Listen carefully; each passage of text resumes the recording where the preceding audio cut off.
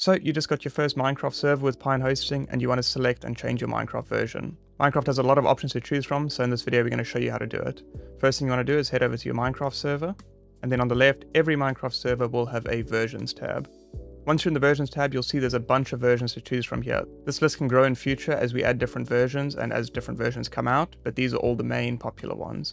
As you can see, it automatically detects your current running version, which is the latest vanilla version right now, but you can easily change to something. So let's just change to paper, for example. In this page, it'll give you all the releases. You can also filter by snapshots.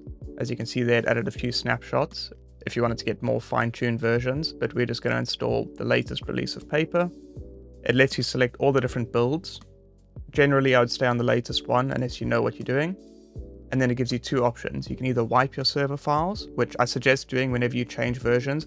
Obviously, this means you will lose server data. I would suggest taking a backup anyway, but wiping your server files is just a good way to make sure that there's no conflicting files that can cause issues. You can also accept the EULA. This just means you don't have to accept it when the server boots for the first time, so if you're happy with that, just click that and then click install. Give it a second and you'll see it instantly changes and detects the new Minecraft version you're running. Once you boot the server, it will download all the paper files.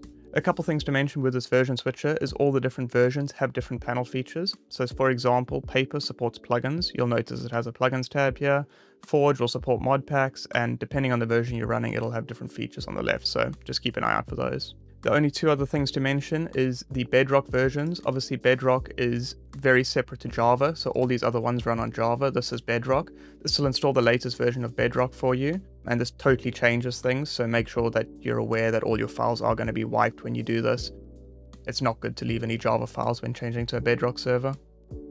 The final option is a custom jar. If we don't support the jar that you want to run, you can upload any custom jars, even if you've made your own or you have a fork of one. You can just click here, drag and drop the file, and then select your options and install it.